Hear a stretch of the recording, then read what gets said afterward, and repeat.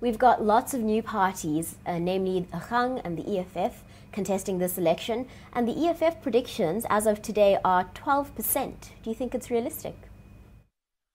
Um, yeah, look, I think you've got to look at how this polling is done. Our polling in South Africa is, is, is pretty rubbish.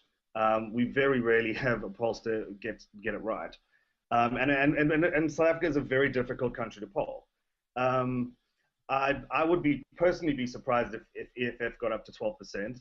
But, you know, there is, there is an opposition vote um, that, that, that people want to cast. We saw it with COPE in 2009.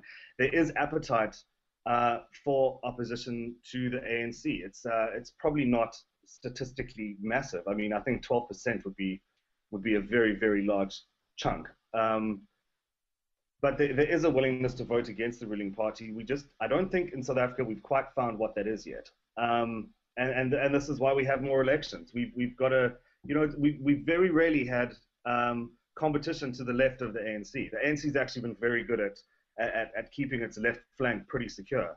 And this will be the first election that's got a, you know, a party with money um, that can really smash it from the left-hand side. And it'll be interesting to see what happens because um, even if they if if, if um, EFF does get 12%, they've got a, a, pretty large platform to make a lot of noise for as long as they hold seats in parliament. And you know there are issues that they bring up that are issues in South Africa that the ANC hasn't dealt with well. Land reform being one of them. Um, there's there's certainly nothing stopping um, EFF getting getting 12%, uh, other than voters' unwillingness to really take their policies seriously and um, Julius Malema might be a nice flashy leader, but he's been accused of a lot of things, and um, he, he's he's he's going to be in the headlines not just for what he says in Parliament. He's going to be in the headlines for a lot of bad reasons too, and that that could mitigate that. I would be surprised if it got up to 12 percent.